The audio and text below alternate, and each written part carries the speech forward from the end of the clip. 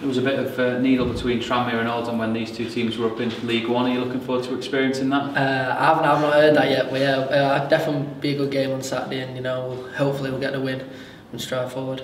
And obviously, the, the important thing was to put the crew result behind you and the, the 3 3 draw as well. And, and I guess yeah. that's the message from the manager just move on from it. Yeah, I think, you know, we've always got to move on. We've got to learn from our mistakes and our games, but, you know, we've we took we took the free free draw into account and obviously we put it right on Tuesday night and we hopefully we can put Saturday's game right.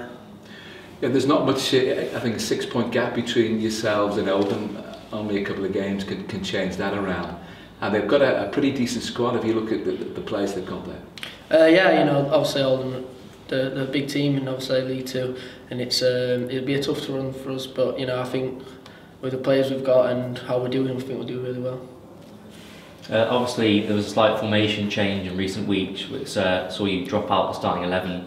Um, how have you found that? Obviously, given the form you were in leading up to that, scoring like plenty of goals um, at that um, time. Yeah, you know, but I'll, I'll, you know, the gaffers, what he does is right. You know, um, he change it, uh, change it around for if he thinks best, and you know, I can't complain. I'm getting my game time, and you know, I've got to sit there and wait my turn, and you know, he's, he's given me the opportunity to, so I'm very happy with him.